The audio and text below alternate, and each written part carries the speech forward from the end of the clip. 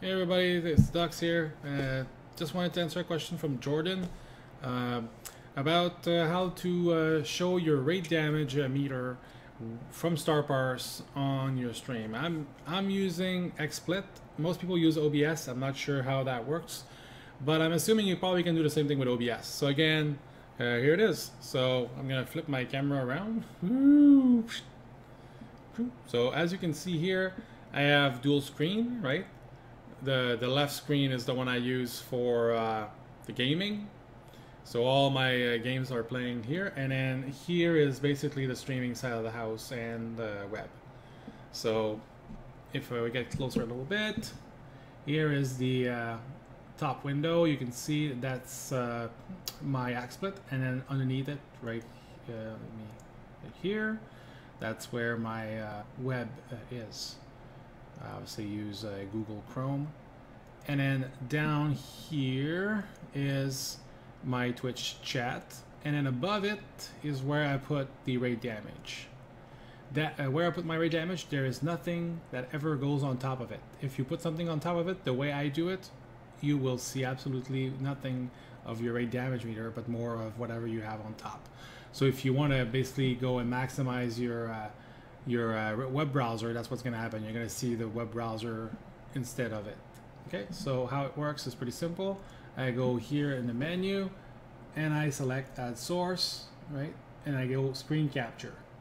When you pick screen capture, it'll, it'll put a big red X. And as you go over to anything, any object that's on there, it's going to actually uh, put a highlight around it.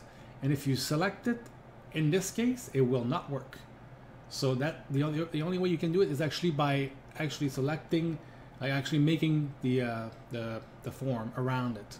So I, you won't be able to see it when I do it here because for whatever reason it freezes the the everything. But anyways, select screen capture, start at the top uh, corner or bottom doesn't matter. But you want to click and drag. You do not want to just click the the actual uh, frame because if you do, it won't work. So I got my frame, I let it go, bam, and now I have a window right here, right? Selected. So I should have another one technically, but anyway, doesn't matter. So, and then I just put it wherever I want it, and I can also size it just like any other things. Very simple, but again, that's how I do it. Again, if you have any questions or if it's not really clear because you see really shitty because it's really made uh, quickly, uh, that's the easiest way I figure it out to show you how I do it. Again, remember, anything that goes into that, uh, like let's say I'll just pick the browser here and I'll put it in there. You'll see now I put my browser full so you can see that I don't see anymore on the stream the uh, the raid damage window you won't see it. Right now you see it because again I put it back on the top. But if I click that, then you won't see it again. So again, very simple, but uh, also uh, uh, I guess a little bit annoying. But you have no choice. It's either that or you really can't make it work with with XSplit. I don't know OBS if it works, but again. So uh, thanks for asking, and hopefully that answers your question. If not, then I can make another one a little bit better. Later.